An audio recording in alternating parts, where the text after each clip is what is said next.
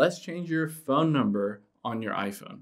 Now, if you got a new phone number or you want your iPhone to ring if somebody calls a different number, you can always change that just in the settings.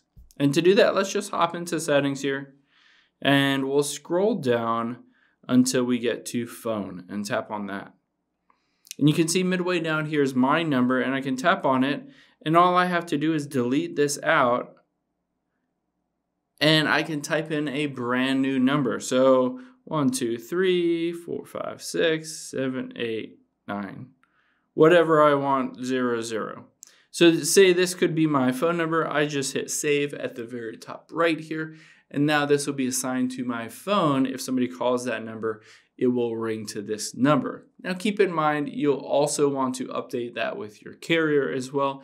If you have AT&T, Verizon, whatever, you'll want to update that with the carrier and make sure that they recognize that as your phone number as well, in addition to on your phone.